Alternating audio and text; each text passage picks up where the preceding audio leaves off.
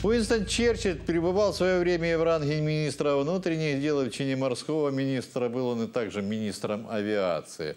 Но многие, в общем-то, из нас помнят его, конечно же, как непревзойденного премьер-министра Великобритании. Естественно, что любая из названных должностей была всегда непосредственно связана и с безопасностью. То ли на дорогах, то ли страны в целом. А важность этой философской и юридической категории он придавал особое внимание и значение. Да так, что однажды изрек. За безопасность необходимо платить, а за ее отсутствие – расплачиваться. Конец цитаты. Целиком и полностью поддерживаю этот тезис. Он не устарел ни насколько, на мой взгляд. Но в нашем эфире очередной выпуск программы «За и против», в котором речь пойдет, как вы уже догадались, о безопасности на дорогах летнего Севастополя. Меня зовут Николай Скребец. Здравствуйте, уважаемые друзья. Спешу представить традиционного гостя, эксперта программы. Встречайте, адвокат, эксперт общероссийской адвокатской газеты Александр Анатольевич Рудь. Добрый день. Добрый день. Здравствуйте, Николай. лучше сказать, да. А наша программа идет в прямом эфире, в интерактивном режиме, а посему все вы, уважаемые зрители, можете стать участниками нашего разговора, нашей дискуссии, позвонив по знакомому до боли телефону 54 62 72 не виделись мы с вами 4 месяца. Объективная Объективная, да, по объективным причинам. И все-таки вот, э, смотрите, общероссийские э, показатели за время э, этой эпидемии, пандемии, они уменьшили ДТП до 40% от общего вала ну, за предыдущие периоды. Да? Что наблюдается сейчас? О чем свидетельствует статистика? Ну, После окончания карантинных мероприятий. Ну, за период карантина мы говорить не будем, поскольку по городу было передвигаться не то что свободно, а очень свободно. Значительная ну, да. часть автомобилистов сидела дома. А вот после карантинный период, естественно, осложнился. И если не сказать, осложнился он валом дорожно-транспортных происшествий или же преступлений, это когда ДТП происходит с тяжкими последствиями, то ДТП, конечно же, стало значительно больше. Крым, он же еще и отличается сезонностью дорожно-транспортных происшествий, вы этом, об этом прекрасно знаете. Лето, сезон, и вот с первого числа открыли Севастополь уже. Курортный сезон, да. Уже мы открыли курортный сезон, и сейчас, естественно, мы ожидаем сезонное увеличение дорожно-транспортных происшествий. Следует отметить, что, к моему большому огорчению, стало много дорожно-транспортных происшествий с пострадавшими. С пострадавшими я имею в виду мотоциклистами. А к этому еще прибавляются и велосипедисты, и горе собственники электротранспорта, вот, о которых, вот, вот, я надеюсь, мы сегодня Мы сегодня поговорим. с этого и начнем. С этого и начнем. Э, стало, в общем-то, жарко, вы правы, сняли блокаду на дорогах, то есть блокпосты уже не действуют люди свободно перемещаются. Но также свободно перемещаются по городу владельцы вот этих транспортных средств, электросамокатов – и одно дело, когда это происходит в парковой зоне, на допустимых скоростях. Вот сейчас видеоряд мы так представим, это парк Учекуевка. Э, там все это оформлено цивилизованно, подписывается договор на аренду, значит, э, ответственность распределяется между э, значит, взрослыми, сопровождающими ребенка, если это ребенок катается, либо взрослый сам подписывает такой договор. Но все это на обособленной территории, на обособленных дорожках. Вот сейчас, кстати, кстати, э, как раз договор этот в кадре. Но у нас же в городе существуют и свободные во всем владельцы э, этих самокатов. И вот буквально с э, сегодняшним, во-первых, при переходе, позавчера, по-моему, при переезде вот через пешеходный переход, не спешившийся был самокатчик поврежден да? Вчера, позавчера я, я сам стал свидетелем э, такого же перемещения молодой девушки через пешеходный переход. Меня пропустил водитель э, микроавтобуса, а за мной летела, ну, она думала, что успевает, но не совсем успела. Правда, под колеса не попала, но э, я представляю, сколько нервов, в общем-то, потребовалось э, водителю для того, чтобы сдержать эмоции, потому что, ну, слов не было, грубо говоря. Итак, как вы относитесь вот к этому виду транспорта? Я знаю, что в прошлом году уже первая жертва, то есть сакральная жертва уже принесена в Париже погиб один человек по вине вот такого самокатчика. Во всех странах, э, в общем-то, в пожарном порядке принимались какие-то меры регулирования движения вот этих автотранспортных, электротранспортных средств, не знаю, как их называют. Ну, такие правила приняты э, во Франции, в, в Австрии, э, в Италии, это все, что на память, и, по-моему, даже э, в Латвии. А что у нас? Как у нас регулируется вот эксплуатация подобных транспортных средств? Никак. Ура! Ура! Тот законопроект, который готовится и который Э, относит их э, к владельцам средств индивидуальной мобильности, на сегодняшний день еще не подписан. И на, и на сегодня мы имеем э, владельцев электротранспорта, которые катаются в специально отведенных местах, хотя, если честно, я таковыми не назову ни Парк Победы, ни проспект Нахимова, но хотя бы там нет транспорта.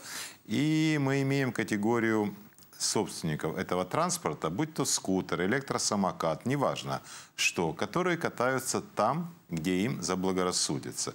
Давайте с точки зрения закона, По дорогам города, с точки зрения закона попробуем разобраться. Кто они? На сегодняшний день они пешеходы, Николай. Больше никакой категории участников дорожного движения... Ни под какой они не попадают. Не, не подпадают. В Российской Федерации в прошлом году четверо погибших с участием вот этих вот индивидуальных транс, ну, транспортных средств, я их не назову, электротранспорта. Четверо погибших. Недавно в Севастополе в Парке Победы таким скутеристом был сбил, сбит ребенок. На сегодняшний день проводится проверка, э, будет ли возбуждено уголовное дело или будет административное производство.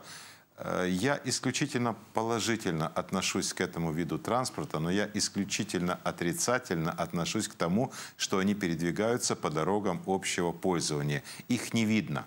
Мы их не ожидаем обгоны справа, слева, движение в междуряде, которым раньше грешили только мотоциклисты, теперь как вихри мимо нас, особенно если мы движемся медленно или стоим, проносятся вот эти вот у меня сегодня случай такой был с утра вот эти у, вот у э, автовокзала. Или скутеристы.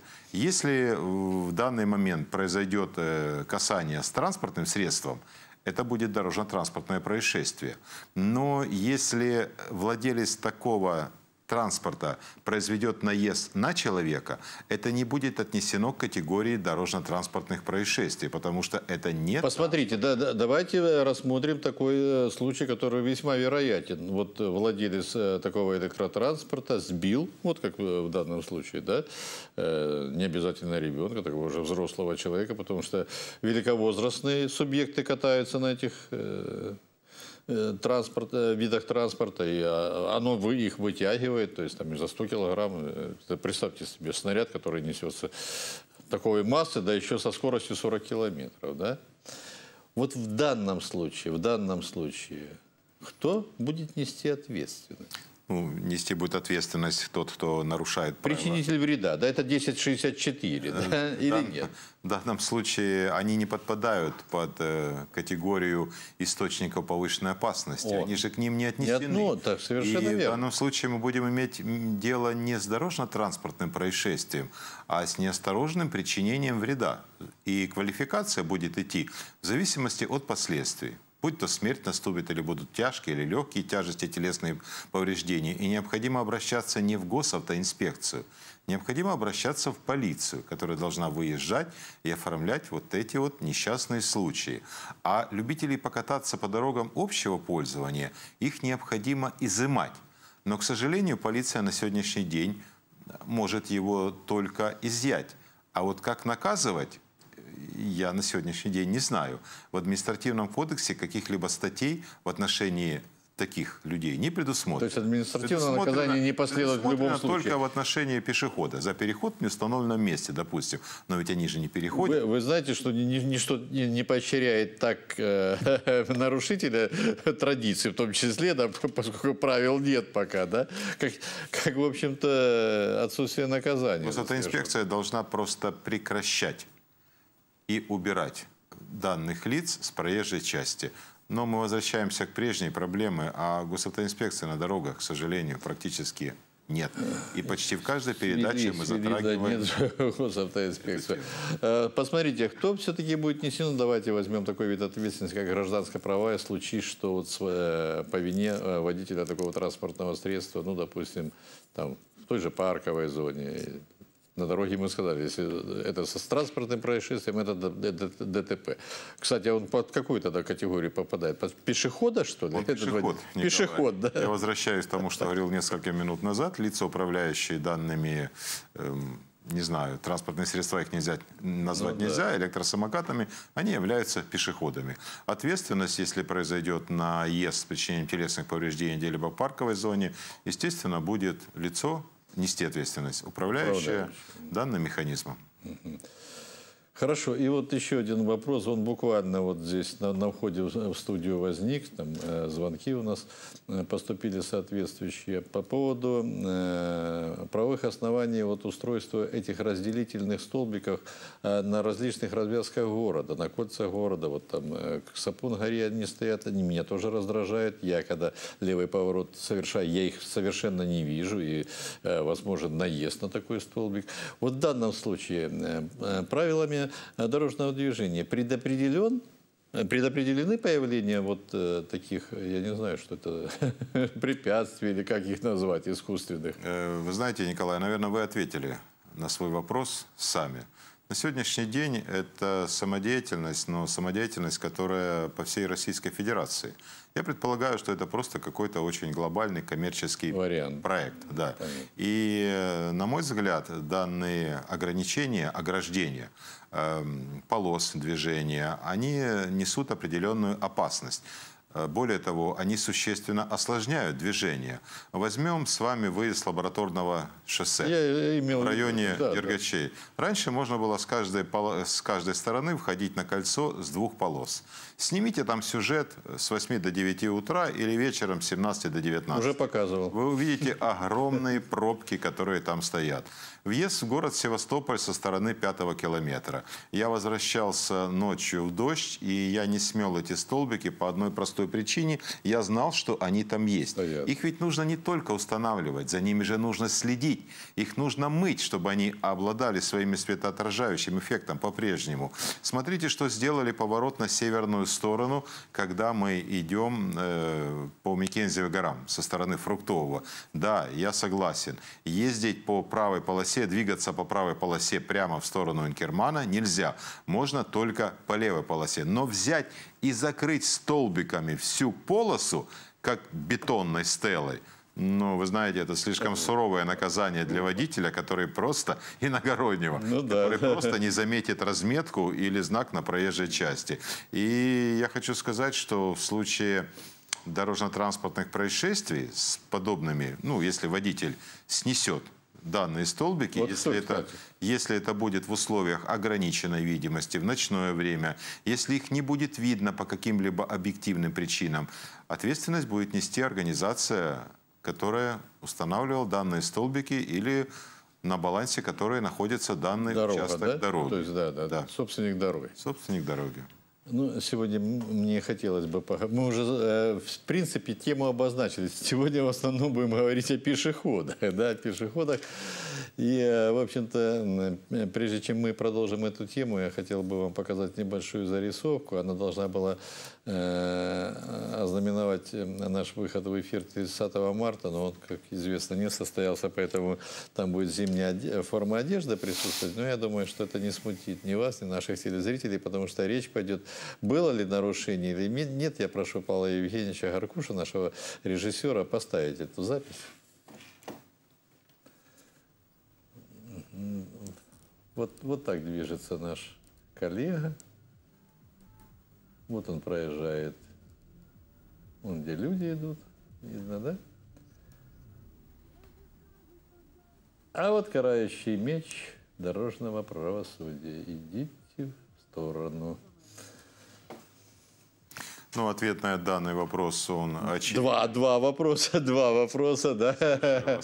Вот э, смотрите, было ли здесь объективное нарушение э, правил дорожного движения со стороны нашего э, коллеги? Его привлекли к административной ответственности, там на месте ставили протокол. И второй вопрос, ну, стоило ли в этом случае отстаивать свою правоту в суде, уже доказывая свою невиновность с помощью, опять же, видеорегистратора, который ему принадлежит на праве собственности. И с какого момента водитель должен остановиться и уступить дорогу все-таки движущемуся пешеходу? Но мы все знаем правила дорожного движения. Необходимо уступать... Не все. Не Скажу, не все. Мы должны уступать дорогу пешеходам, которые, в жизни которых может быть создана угроза и опасность.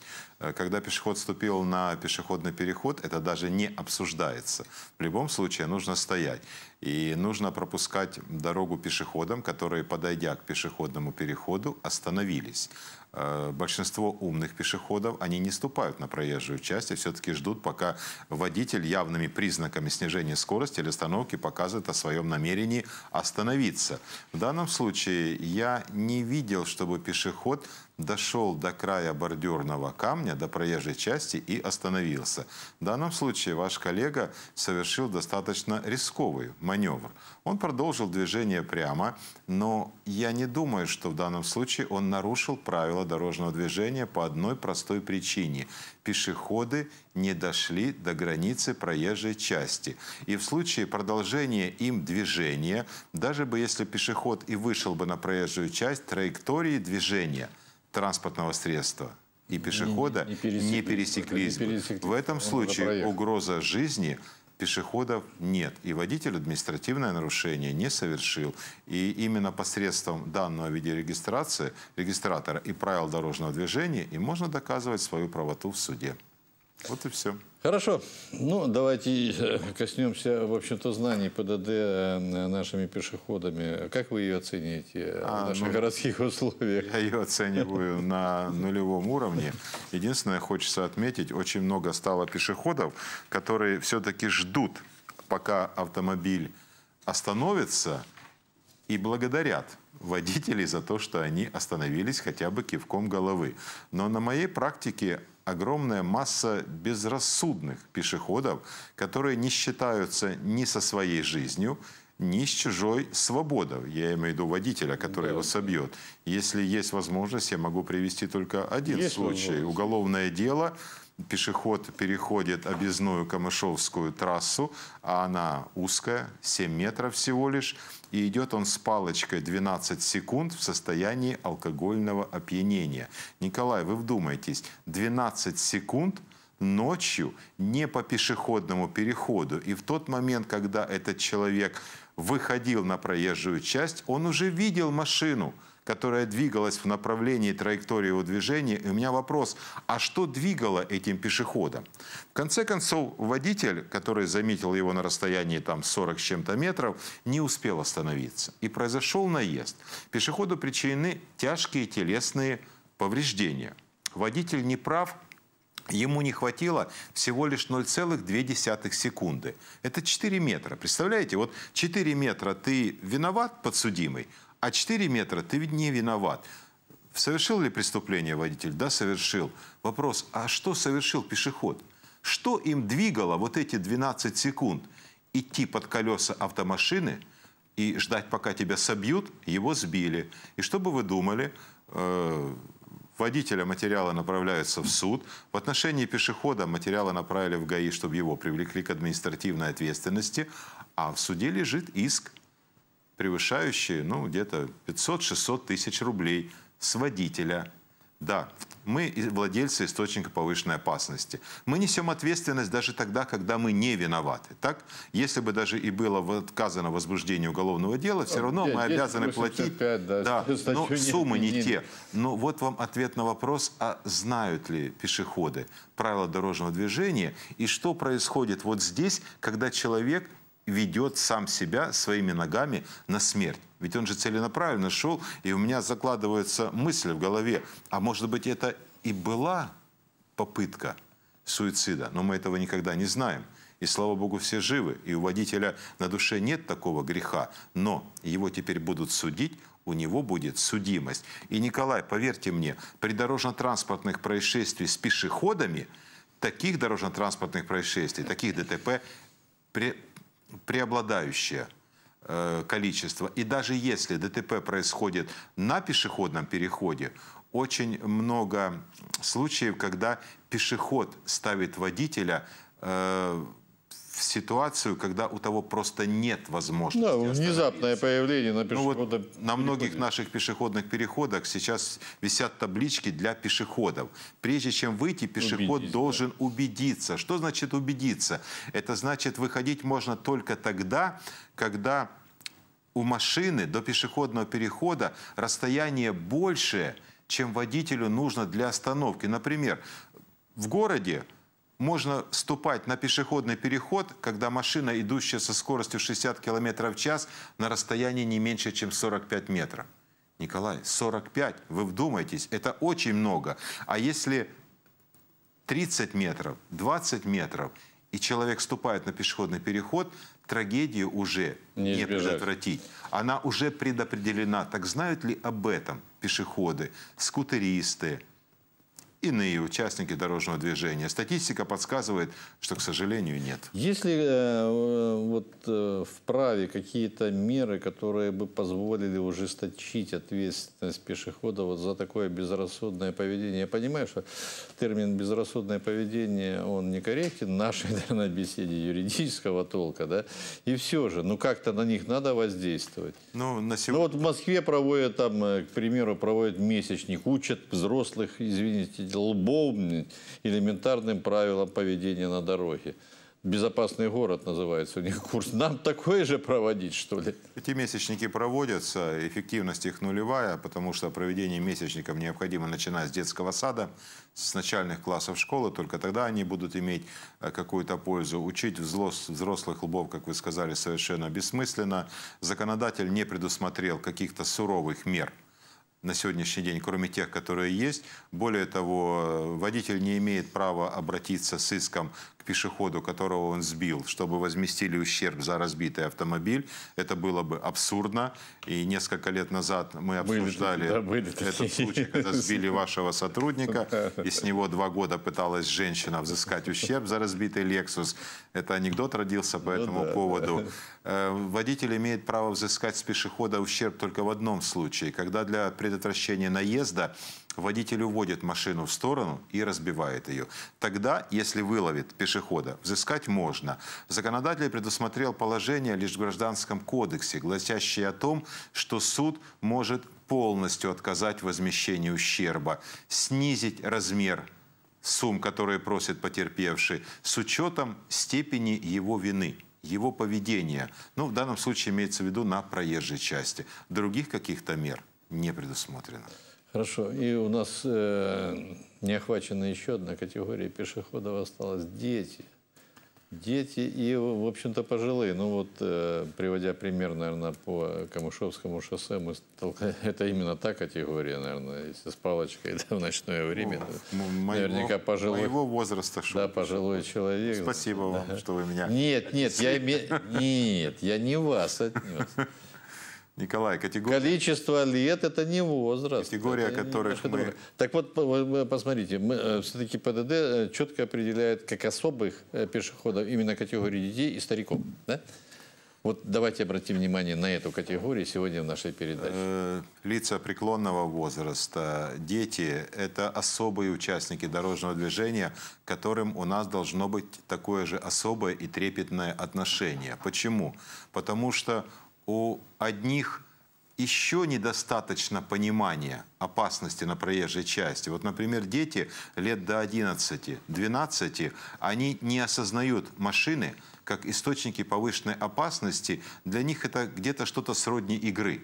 Дети не понимают, что может произойти. Дети не могут просчитывать расстояние, метры. Анализировать, грубо да. говоря. Не а лица преклонного возраста, они уже не в состоянии адекватно анализировать ситуации, которые возникают на проезжей части. Вы же обратите внимание, очень часто мы наблюдаем, когда бабушка или дедушка выходят на пешеходный переход или просто на проезжую часть и идут, несмотря никуда уткнувшись головой просто в асфальт. И сигналить, ругаться, что-то делать, критиковать совершенно бессмысленно. Нужно стоять и ждать, потому что неизвестно, что нас ждет ну, в такие да, годы да, да. и какие станет. Нет, бывает такая ситуация, когда разворачиваются идут в обратную сторону. Был свидетелем такого. Вспомнила что-то на пешеходном Если управляя машиной, ты видишь да, одну из категорий. Да, вот, вот, вот смотрите, нет, есть еще время. Э, мы с вами э, полгода назад, а может больше, затрагивали тему, когда Э, создается такой своеобразный затор на дороге э, в силу э, совершения дорожно-транспортного происшествия. Буквально на прошлой, прошлую пятницу в Санкт-Петербурге произошел опять такой случай. Двух водителей, двух автомобилей, участников ДТП сбила, сбила маршрутка. Они находились рядом. То есть они э, совершенно правомерно находились у э, своих же э, остановившихся или остановленных средств, зафиксировав их на месте совершения ДТП и правильно, правомерно поступили. Но опять возникла дискуссия – а вторая авария не благодаря или не в силу этого произошла, что эти двое остались, извините меня, на проезжей части. И вновь возобновилась э, дискуссия, стоит ли съезжать, не стоит. И стоит ли правоприменительным, право, э, э, нормотворческим органам разработать порядок вот, действия в подобной ситуации уже и внести их в правила дорожного движения, очевидно. Что касается дорожно-транспортных происшествий без пострадавших, то очень хотелось бы новшества в законодательстве, которое предусматривало бы быструю фото-видеофиксацию места происшествия и сразу же покидать место ДТП, как минимум краю проезжей части. На сегодняшний день водители ждут аварийного комиссара, да. который приедет, нарисует схему, благополучно возьмет у них пару рублей за составленные материалы и уедут, потому что сами водители составлять европротоколы не умеют. А вот что касаемо дорожно-транспортных происшествий с пострадавшими, здесь категорически нельзя убирать машины с места ДТП. Необходимо оградить, согласно ПДД, участок, выставить соответствующие ну, знак, знаки все, да. и не выходить на проезжую часть, хотя бы из-за корпуса своих автомобилей. Почему? Потому что зачастую только благодаря следовой информации, оставшейся на асфальте, разбитые осколки, одежда, бампер, вещи, можно установить, кто виноват в данном ДТП. И вот вы представьте, авария, машины убрали, кто будет отвечать за содеянное? Нет, это делать нельзя категорически. Ну, а сейчас оба виновника, оба, вернее, э, участника первой, э, первого дорожно-транспортного происшествия оказались потерпевшими Но ну, уже во втором. редкий случай. Может быть, они вышли на проезжую часть. Может, была ночь. Не, не, зна, не, не знаю. Мы не знаем с вами Не знаем деталей, да, да, да.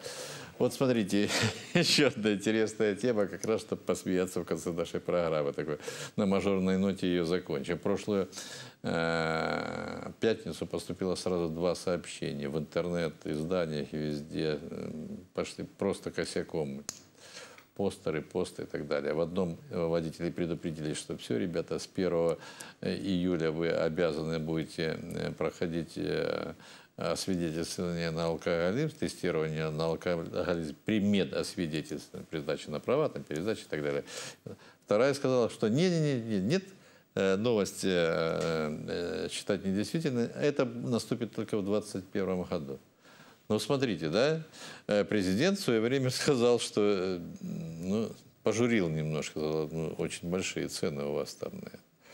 А, мы с вами обсуждали, что здесь, в общем-то, касается э, эти запреты, э, связаны эти освидетельствования с запретом на профессию и с нарушением трудового права, в общем-то, э, в основе своей.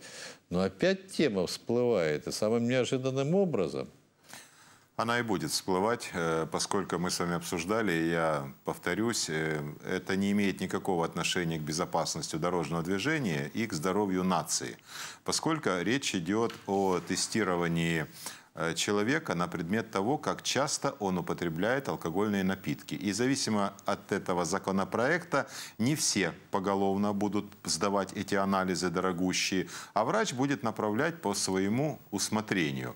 А поскольку стоимость варьировалась в пределах 6 тысяч рублей, вы представляете, сколько по Пойдут стране... все стройными рядами. Да, пойдут все. А Я предполагаю, что, как и в прошлый раз мы говорили, это просто коммерческий проект, который проталкивается, протягивается мимо президента. И я думаю, что просто необходимо будет, наверное, опять организовать встречу главы государства с Собяниным. И опять, чтобы они Чтобы чай попили в вагоне, да? вопрос. И опять эта тема на определенный промежуток времени уйдет из нашей Хорошо. жизни. К сожалению, вы оказались правы. Перед эфиром мы с вами разговаривали по поводу хватит, не хватит времени. Времени нам, как всегда, не хватило. Через месяц Да, так что приходите, да, приходите чаще. Спасибо вам. Это был адвокат, эксперт общероссийской адвокатской газеты Александр Анатольевич Чаруть. Спасибо вам и успеха вашей многотрудной работе. Судя по всему, сейчас будет пик, наверное, вашей загрузки, поскольку пошли, пошел массовый рост ДТП, не дай бог, конечно. Успехов, успехов в вашей работе. Ну, а у меня на сегодня вся информация. Всего вам самого доброго. Берегите себя и свои семьи. Честь имею.